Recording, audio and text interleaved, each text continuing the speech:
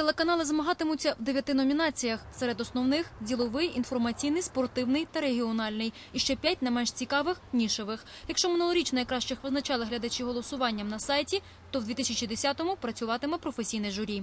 Наші експерти голосують за, теле- за телеканал не лише за контент, а експерти ще оцінюють роботу телеканалу, е, розповсюдження, доступність кінцевим абонентам, е, маркетингову політику, е, роботу менеджменту, тобто роботу канала за рік в цілому.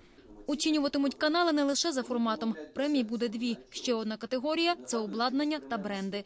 За словами організаторів, такий конкурс стимулює вітчизняне телебачення до розвитку. Основною причиною створення премії це е, було, був розвиток ринку супутникового кабельного ефірного телебачення, а також е, спонукання телеканалів до конкуренції між собою в своїх нішах.